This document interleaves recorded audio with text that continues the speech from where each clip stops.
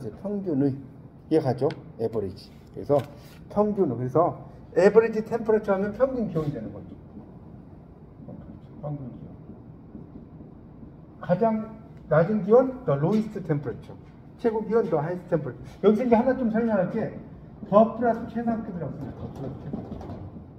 최상급 앞에는 무조건 the를 쓰는 거예요. 거기다 써놔.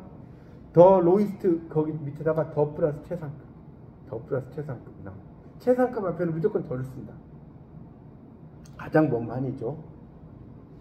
그래서 이제 밑에 봐봐 박스에 영어에서 가장 뭐뭐한 최상급이죠. 이제 보통 EST를 붙이는데 3음절 이상에는 most 붙인다는 건 아까 다 했죠. 그래서 hot 뜨거운 hottest 가장 뜨거운 beautiful 3음절 이상의 단어지.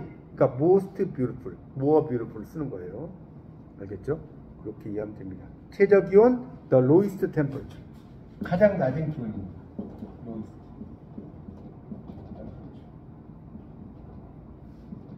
그다음에 최고 기온 the highest temperature 가장 높은 기온입니다.